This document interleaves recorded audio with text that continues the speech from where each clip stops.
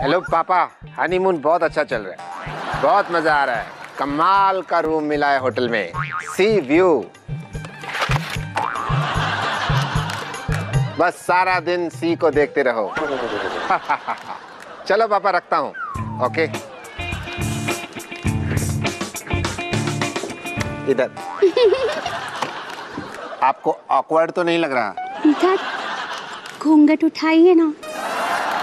लेकिन मैंने तो घूंघट पहना ही नहीं हुआ। मैं मेरे घूंघट की बात कर रही हूँ। ये चमक ये चिंगारी ये बिजलियाँ। कहीं तुम वेल्डिंग वाली तो नहीं? नॉटी बस हनीमून में मज़ा होना चाहिए। वैसे एक बात बताओ। पूछो। यहाँ पे ये दो दो बेड क्यों है? अरे यही तो स्कीम थी। उन्होंने कहा वन बेड चाहिए कि टू बेड। प्राइस दोनों का सेम तो मैंने कहा टू बेड। हनीमून में मज़ा आना चाहिए। लेकिन ऐसे मौके पे दो बेड की ज़रूरत नहीं होती एक ही होता है। तो ठीक है तुम इधर रहो मैं इधर रहूँगा। पंखा ऊपर है मेरे को पंखा चाहिए ही होता है। लेकिन हम एसी में हैं ओके ओके ओके तो तुम आप हनीमून के लिए रेडी हो? हाँ मैं रेडी हूँ। हनीमून मज़ेदार होना चाहिए। रुको रुको रुको। आँखें बंद। आँखें बंद। ए इधर देखो। हनीमून मज़ेदार होना चाहिए।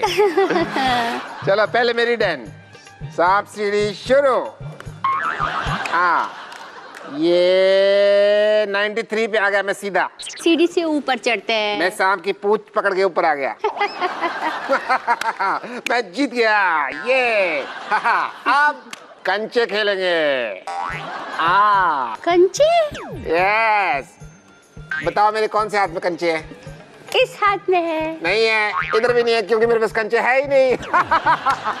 हनीमून मज़ेदार होना चाहिए।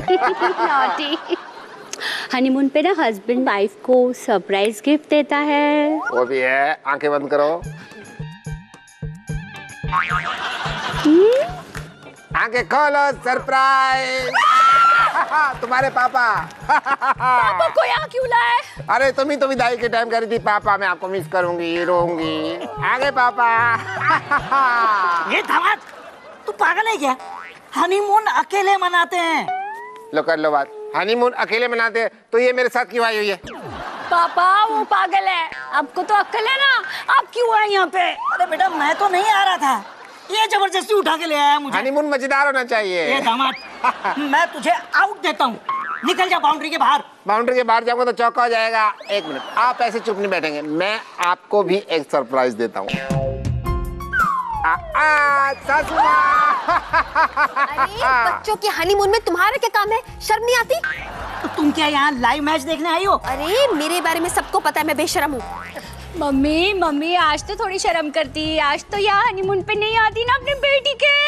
अरे मेरा बेटा मैं यहाँ से गुजर रही थी दामाद जी ने मुझे रोक लिया। अरे बहाना तो सोच समझ के बोला कर। चुप एक बार तो गुजर गई है। कितनी बार गुजरेगी? तुम्हारी वजह से मेरी बेटी का हनीमून स्पॉइल हो रहा है। निकलो यहाँ से। लेकिन तुम भी तो हो यहाँ हाँ?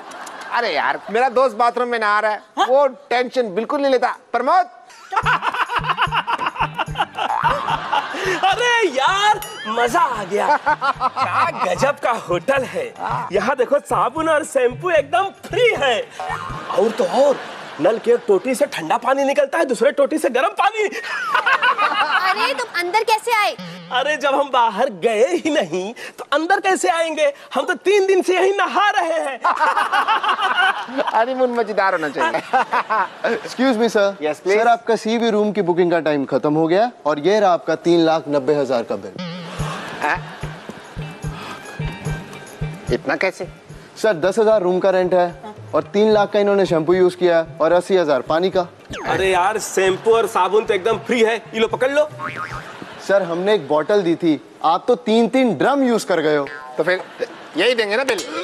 दीजिए सर बिल।